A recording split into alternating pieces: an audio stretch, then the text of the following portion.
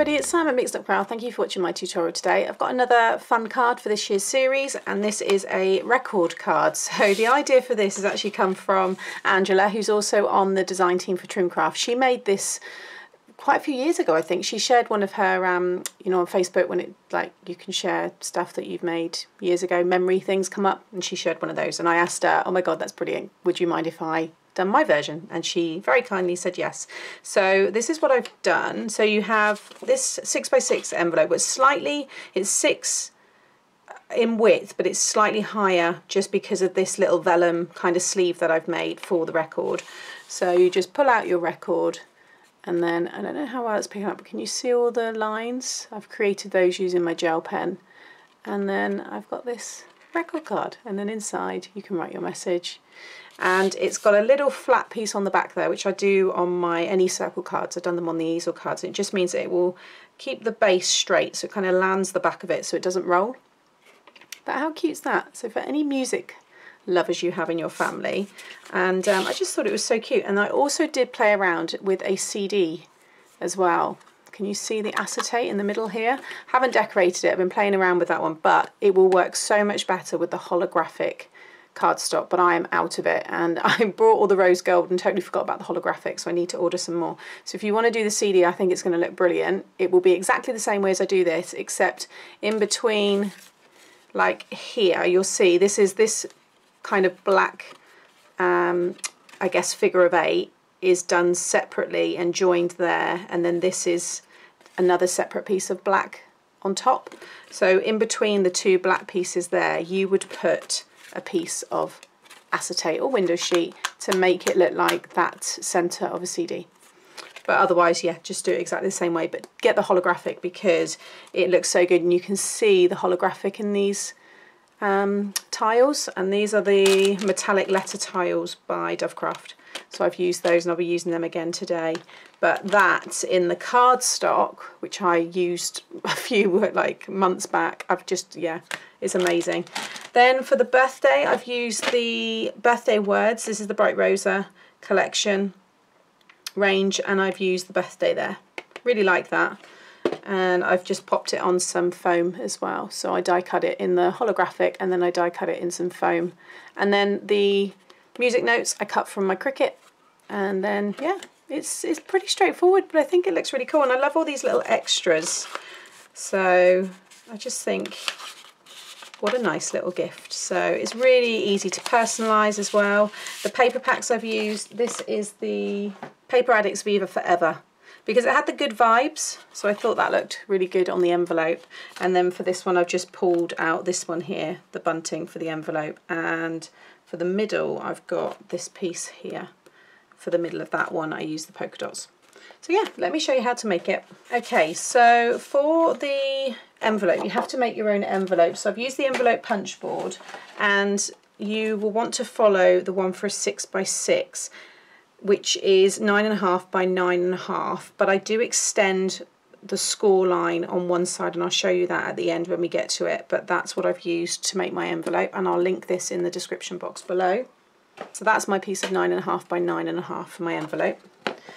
Then for the actual card itself, this is just my A4 length which is 11 and 3 quarters.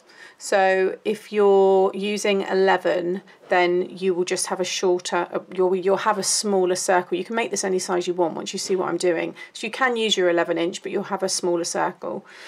So this is the default length, 12 inches is fine, then score at 6 and fold it in half. With this one here you want to score at 5 and 7 eighths of an inch along the long side and fold in half and that will give you this 5 and 7 eighths by 5 and 7 eighths squared piece. So this is what we're going to cut the main case card from. Then you want a piece of, I've just done these at 6 by 6 it's just to cut more circles from, so that's to write our message inside, which is 6 by 6 This is another circle that we will actually have the record on, so all the detail, all the decoration will be on this. And again, I've just cut it to 6 by 6 but you'll cut that down. And then for your sleeve, this is again the length of A4, this is my vellum, and then I've just scored at 5 and 7 eighths again, yeah, so then you have a piece of 5 and 7 eighths by 5 and 7 eighths, like this. So again, it's almost like a card, side folding card, but we're going to run some tape along the two sides there just so we've got a little pocket. So that's really straightforward to do. Okay, so I'm going to be using again my trusty X-Cut circle cutter. I will link this. There's a few other companies now that have started doing them. I know Hobbycraft have them as well, but I will link where I get this one from below, but I know so many of you have it now. If you don't, then you want something that's going to be, you know, five and a half to six inches in diameter. Well, no, just below six inches because this is six. So yeah, five and three quarters is where I'm setting this one. I've just got my dial there at five and three quarters, which is about 14, just over 14 and a half centimeters. Now what you want to do with this, just take the back off, is you want your folded piece, okay? So and you want to have your fold at the top, so you've got a top folding card. Your blade here, you want to make sure comes off the top, so use your mat or something below to keep everything nice and straight but my blade here I'm not going to have on the top it's going to start cutting off the mat because we want to keep it connected so you see I've got about one inch of this piece here connected so I have card if you don't do that then yeah you and you let me do it and then I'll tell you kind of roughly how high I do it because it's a hard one to really gauge. But if you're using, say for example, this is a plate, you want your plate to come off like that. You see it comes off the top and then start cutting or draw your pencil and then cut with scissors, okay? You want to, you want to make sure you've got about one to one and a half inches joint, okay? So I'm just going to feel my blade start there and then just I hover this first just to make sure that I can feel it cutting on the card and that it doesn't go over the edge. I think I'm going to just shift it across a little bit there. Yep, I'm happy with that. So then I'm just going to cut this. Okay, so I've got even more joined there, but it doesn't matter. But you want to have this kind of number eight. Okay, then whilst I've got it set at that size, I'm going to cut now a whole circle. So you don't need to come off the square, but again, you want to make sure that you're within, within your circle. You want to cut your squares bigger to start with, you can do. You don't have to have them as six by six, you can have them seven by seven. So now that is going to go over the top of that. So I have my record, a full circle, but then inside it's connected, but from the front. And you should just have, see where we've got the overhang? All right. Then with this one here, because that's for my message, I'm going to reduce this down to five and a half. So you just want a slightly smaller circle. And the only reason I've done it is just so it creates a frame. So I've just dropped down a size and you can see I've got that black frame. I just thought it just finished it a little bit nicer. So then again, I'm just going to sit that down. So it's just kind of planning really all of your circles, getting them all ready. Once you've done it, you just stick them together. So it's very quick and it's exactly the same as the shaker cards that I've done. They look really good as well. I'll link those in because if you like this kind of circle style card you'll probably like them as well. For some reason that's stuck. There we go. So now that one will go inside but what you'll need to do is probably trim a little bit off the top where you've got that flat piece. So if you just lie it down so you have a nice frame ignore the line there where it folds. Make sure you get the circle just bang on. And then I'm just going to grab my pencil and I'm just going to come down just below the score line you know so I'm creating the same kind of frame. And then just with my trimmer I'm just going to join those two pencil marks up like so. And then I can stick that in there. There we go. Alright, so you get a nice neat inside and then we'll be cutting a hole through that in a minute. Okay, so next what you want to do is stick that down right over the top. Okay, make sure you follow it around the bottom because you want that to hang over the edge. Now because you have that hanging that piece hanging over, I would add your glue onto this piece here and then stick that on top. So I'm just going to run my Collall glue over this. Again, this dries really stiff, so it's great for, again, adding strength to your cards. If you're using maybe, you know, a a light cardstock. This black one isn't particularly heavy, I reckon it's about 160. So by adding this glue and by doubling up my layers anyway, it does then become, you see how much stronger this is now. That's more like a 300 GSM feel to it. So just going to stick that one down there. And then while that one's drying, I'm going to stick this one inside. Okay, then I've gone and die cut this piece here, and this is roughly, you want something, it's entirely up to you to be honest, this is two and a half in diameter. Okay, so I've chosen that, and that's going to go in the centre, and then we're going to cut through all of this. So what I would say is if you, because you're going to cut through bit by bit, so I'm going to stick this one down first of all.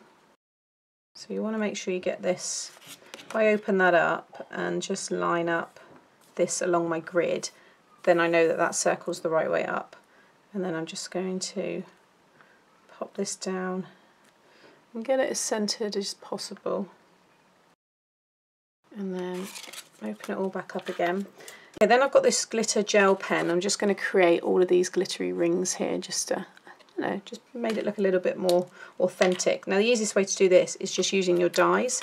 So I've just got loads of different dies here and you kind of just want to work your way out. Now mine are all different kind of like you know, mine are all spaced differently because when you look on a record, some songs are longer than others, you know, you'll have, they're not all the same. So I'm just going to pop this in here and what I'm going to do is draw on the inside around it and then I'll draw on the other side of it and then just kind of keep working outwards with different sized circle dies until you've kind of you're happy and you've covered it. Again, it's completely optional. You don't have to do this. And you may well be decorating yours very differently, but I just thought it added something to it. So I'm just going to go and do all of that.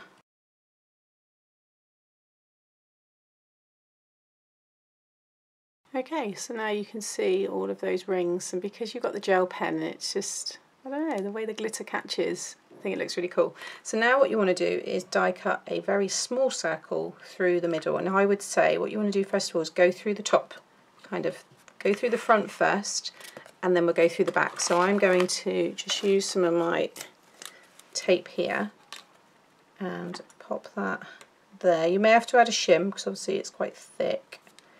It depends on what card you're using, but I'm just going to run that through my die machine. Okay, and then just peel that off and I'm using my big shot so it does cut through that really well and just kind of smooth that off but there you've got the center and then if you grab a pencil and just draw around the inside like so and with the same die just line that up over the top and I'm just going to pop some tape and I'm going to run that through okay and again just carefully peel that all off and there you have your record. So now you just need to decorate it. So I'm going to bring in all of these pieces here. So I'm going to decorate it exactly the same way. What I would say is open it up, line up these here through a line so you know everything's straight and then you know that this is the bottom here and not like here or somewhere because you don't want it to be a bit wonky. But I'm going to do pretty much exactly the same setup because I really like the way that one looked and I love these tiles and they're really cheap. they're not very expensive at all. So again, I'll link them below because you get 150, I think it is, in the pack. So I'm going to do that. And then I've got a different colour music notes and stuff here. So again, I like the way they are. So I'm going to copy exactly the same way. Something like that. So I'm going to stick this down and then afterwards I'll show you how I did the envelope.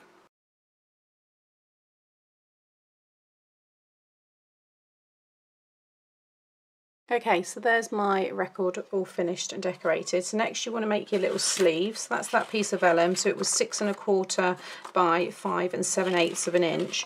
And I'm just going to run some thin red tape because the red tape's really good at kind of well, it doesn't completely disappear on the vellum, but it uh, certainly doesn't show up as much as others.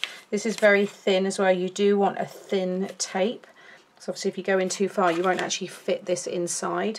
So again once you see what I'm doing you can easily you know change this up if you want to and you don't even have to do it. It was just a little extra that I thought looked quite nice. So I'm just going to run two strips up each side and then very carefully just kind of tack it to the, each end and then just roll it up like so and then again just go over make sure that's all down.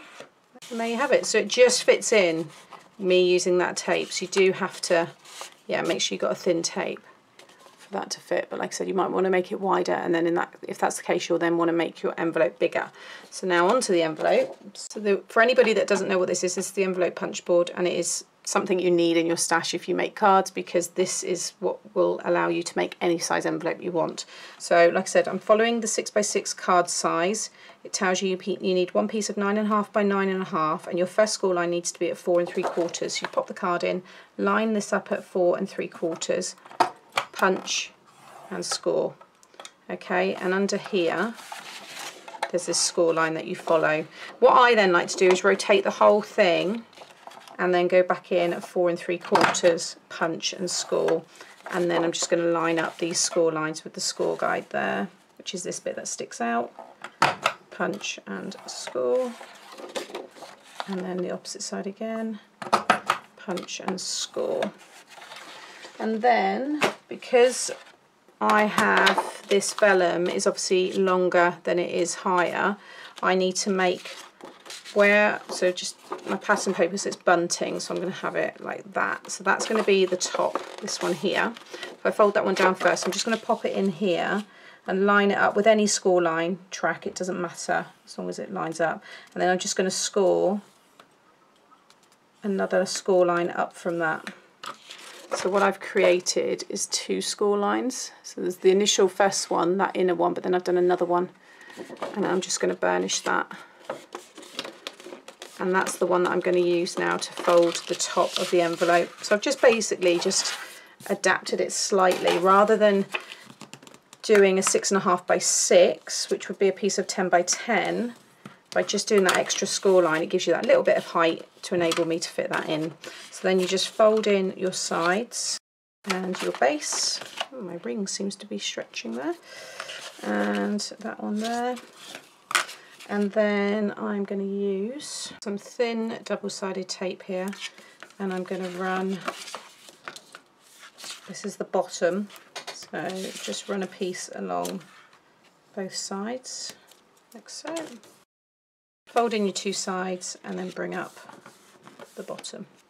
Alright and that's it. And then I've got this piece here which was two by four and it was just so I could write the person's name rather than writing directly onto that pattern paper. I'm just going to stick that in the middle. So now you have a lovely matching envelope. Open it up to reveal this cool little pocket or sleeve and then inside you have this fun record card. You've got lots of room to write inside. Well, there you have it, two really fun cards. I absolutely love these. I just think they're so fun. They're perfect personalised. You could have someone's name on this do anything with them and I think they're really fun. So I hope you've enjoyed it. If you have, please give me a thumbs up and remember to subscribe to the channel so you get to see not only the rest of the Creative Card series but also all my other future tutorials. Thanks for watching. Bye.